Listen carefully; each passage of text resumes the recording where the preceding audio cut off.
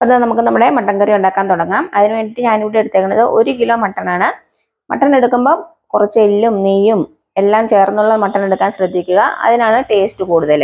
ഒരു കിലോയാണ് എടുത്തേക്കുന്നത് പിന്നെ നമ്മുടെ മട്ടൻ കറിക്ക് ആവശ്യമായിട്ടുള്ള സവാള എടുത്തേക്കുന്നത് രണ്ട് മീഡിയം സൈസ് സവാള ചെറുതായിട്ട് പാനം കുറച്ച് അരിഞ്ഞത്. പിന്നെ എടുത്തേക്കുന്നത് ഒരു പത്ത് പതിനഞ്ച് ചെറിയ ഉള്ളി. അതൊരു രണ്ടോ മൂന്നോ ആയിട്ട് കട്ട് ചെയ്യുക. ഇനിയുള്ള ഇൻഗ്രീഡിയൻസ് ഒക്കെ നമുക്ക് കുക്കിങ്ങിന്റെ ഇടയിൽ പറയാം. ഇനി നമുക്കൊരു കുക്കർ ചൂടാക്കാൻ വേണ്ടി വെക്കാം. അപ്പോൾ അതാ ഞാനൊരു കുക്കർ വെച്ചിട്ടുണ്ട്. കുക്കർ ചൂടാകുമ്പോൾ നമുക്ക് ഇതിലേക്കൊരു മൂന്ന് ടേബിൾ സ്പൂൺ എണ്ണ ഒഴിച്ചു കൊടുക്കാം. വെളിച്ചെണ്ണ ഉപയോഗിക്കുക. നാടൻ റെസിപ്പിയാണല്ലോ എണ്ണ ഒന്ന് ചൂടായിക്കോട്ടെ. എണ്ണ ചൂടായിട്ടുണ്ട്. ഈ സമയത്ത് ഇതിലേക്ക് ഒരു രണ്ട് ഏലക്ക ഒന്ന് ചതച്ചതും ഒരു നാല് അല്ലെങ്കിൽ അഞ്ച് ഉലുവയും കൂടെ ഇതിലേക്ക് ചേർത്ത് കൊടുത്തിട്ട് ഒന്ന് ചൂടാക്കാം. കരിഞ്ഞു പോകരുത്. ഞാനിപ്പോൾ ചെറിയ തീയിലാണ് വെച്ചേക്കണത്. ഇനി ഇതിലേക്ക് നമുക്ക് നമ്മുടെ ചെറിയ ഉള്ളിയും അതേപോലെ തന്നെ സവാളയും കൂടെ ചേർത്ത് കൊടുക്കാം.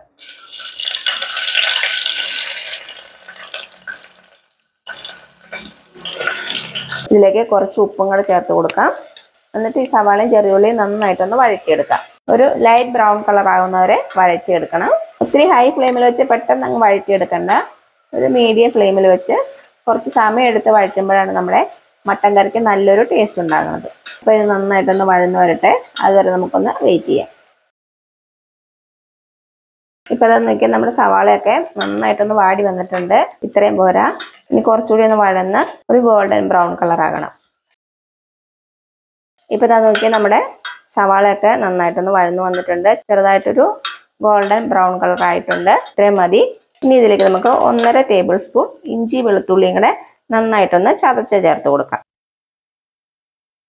രണ്ട് പച്ചമുളക് ഒന്ന് നെടുവേ കീറിയിട്ടതും കൂടെ ചേർത്ത് കൊടുക്കാം.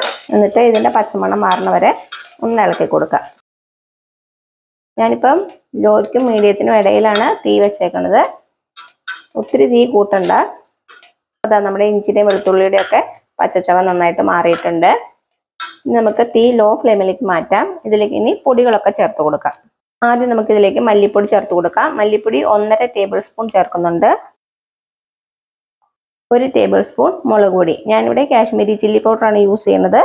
നിങ്ങളുടെ എരിവിനനുസരിച്ച് നോർമൽ ചില്ലി പൗഡർ ആയാലും മതി. അര ടീസ്പൂൺ മഞ്ഞൾപ്പൊടി. പിന്നെ അര ടീസ്പൂൺ പെരിഞ്ജീരകം പൊടിച്ചത്. ഒന്നര ടീസ്പൂൺ കുരുമുളക് പൊടി. ഒരു ടീസ്പൂൺ ഗരം മസാലപ്പൊടി. എല്ലാം കൂടെ ചേർത്തിട്ട് ലോ ഫ്ലെയിമിൽ നന്നായിട്ടൊന്ന് ഇളക്കി കൊടുക്കുക. പൊടികളൊന്നും കരിഞ്ഞു പോകരുത്. ലോ ഫ്ലെയിമിൽ വച്ച് തന്നെ ഇളക്കി കൊടുത്താൽ മതി. അതാ നന്നായിട്ടൊന്ന് ഇളക്കി കൊടുത്തു. നമ്മുടെ പൊടികളുടെ പച്ചച്ചവയൊക്കെ മാറിയിട്ടുണ്ട്. ഇനി ഇതിലേക്ക് നമുക്ക് തക്കാളി ചേർത്ത് കൊടുക്കാം. രണ്ട് മീഡിയം സൈസ് തക്കാളിയാണ്. അതേപോലെ തന്നെ കുറച്ച് കറിവേപ്പില അങ്ങനെ ചേർത്ത് കൊടുക്കാം. ഇനി തക്കാളി ഒന്ന് നന്നായിട്ട് വെന്തോടെയാണ്. അതുവരെ ഒന്ന് ഇളക്കി കൊടുക്കാം. ഇപ്പം നമ്മുടെ തക്കാളി നന്നായിട്ട് വെന്തുടഞ്ഞിട്ടുണ്ട്. ഇത്രയും മതി. ഇനി ഇതിലേക്ക് നമുക്ക് നമ്മുടെ മട്ടൻ ചേർത്ത് കൊടുക്കാം. കഴുകി വൃത്തിയാക്കി വെച്ചേക്കണം ഒരു കിലോ മട്ടൻ.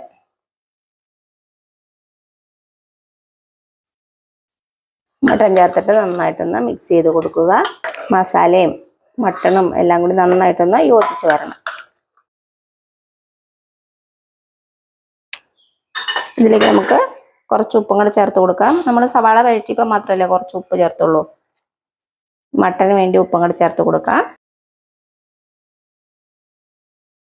അപ്പോൾ അത് നന്നായിട്ടൊന്ന് മിക്സ് ചെയ്ത് കൊടുത്തു. ഇനി നമുക്കൊന്ന് അടച്ചു വെച്ച് കൊടുക്കാം. ഒരു പത്ത് മിനിറ്റ് ഒന്ന് അടച്ചു വെച്ച് കൊടുക്കുക. ഞാനിപ്പം വെയിറ്റ് ഇട്ടിട്ടില്ല. ഇപ്പം വെയിറ്റ് ഇടണ്ട. ഈ മട്ടന്റെ വെള്ളമൊക്കെ നന്നായിട്ടൊന്ന് ഇറങ്ങി വരട്ടെ.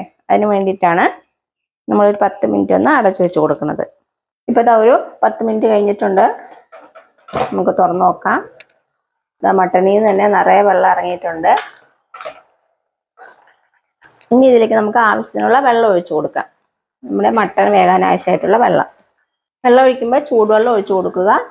ഞാനിവിടെ ഒന്നര കപ്പ് വെള്ളം ചേർക്കുന്നുണ്ട്. എന്താന്ന് വെച്ചാൽ നമ്മുടെ മട്ടണിൽ നിന്ന് നിറയെ വെള്ളം ഇറങ്ങിയിട്ടുണ്ട്. അപ്പം നിങ്ങൾക്ക് എന്തോരം ചാറ് വേണം അതിനനുസരിച്ച് വേണം വെള്ളം ഒഴിച്ചു കൊടുക്കാൻ വേണ്ടിയിട്ട്. രണ്ട് കപ്പ് വരെയൊക്കെ ഒഴിച്ചു കൊടുക്കാം. നന്നായിട്ടൊന്ന് മിക്സ് ചെയ്യുക. നമുക്ക് നമ്മുടെ കുക്കർ അടച്ച് വെച്ച് കൊടുക്കാം. അതിനുമുമ്പ് കുറച്ചും കൂടെ കറിവേപ്പില ഇട്ട് കൊടുക്കാം.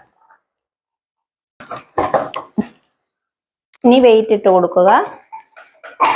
എന്നിട്ടൊരു മീഡിയം ഫ്ലെയിമിൽ നാല് അല്ലെങ്കിൽ അഞ്ച് വിസിൽ അപ്പം നിങ്ങളുടെ കയ്യിലുള്ള മട്ടന്റെ വേവിനനുസരിച്ച് വിസിലിന്റെ എണ്ണത്തിൽ വ്യത്യാസം വരുത്തണം.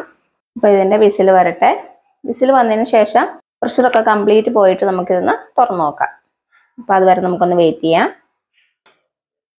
ഇപ്പോൾ ഇതാ നമ്മുടെ കുക്കറിന്റെ പ്രഷറൊക്കെ കംപ്ലീറ്റ് പോയിട്ടുണ്ട്. നമുക്ക് തുറന്നു നോക്കാം.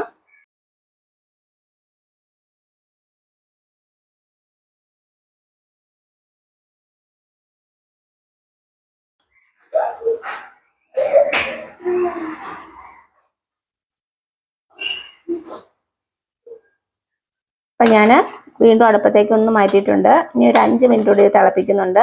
നമ്മുടെ ഗ്രേവി കുറച്ചുകൂടി ഒന്ന് തിക്കാകാൻ വേണ്ടിയിട്ട്. ഇപ്പം അതാ ഒരു അഞ്ച് മിനിറ്റോളം നന്നായിട്ട് തിളച്ചിട്ടുണ്ട്. ചാറൊക്കെ ഒന്ന് കുറുകി വന്നിട്ടുണ്ട്. ഇനി അവസാനമായിട്ട് നമുക്ക് ഇതിലേക്ക് കുറച്ച് കറിവേപ്പിലയും കൂടെ ചേർത്ത് കൊടുക്കാം. നന്നായിട്ടൊന്ന് മിക്സ് ചെയ്തിട്ട് നമുക്ക് തീ ഓഫ് ചെയ്യാം.